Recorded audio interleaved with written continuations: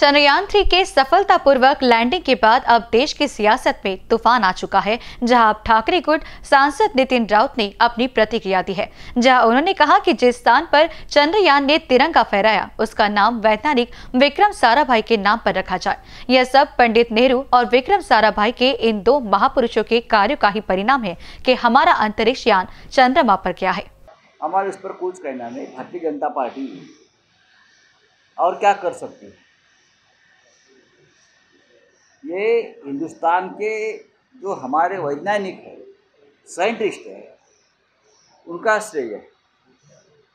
मुझे तो लगता था कि जहाँ चंद्रयान ने तिरंगा फहराया है,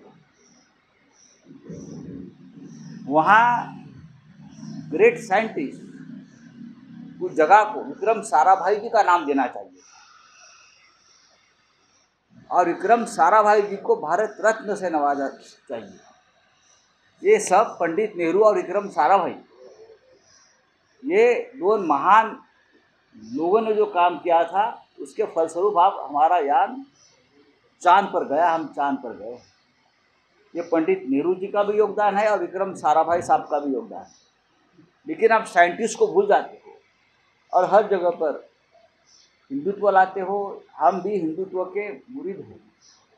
लेकिन कुछ बातें होती है, वो साइंस से जुड़ी होती है। ये वीर सावरकर जी का ही कहना है। तो साइंस के ऊपर किसी धर्म का आक्रमण ठीक नहीं है।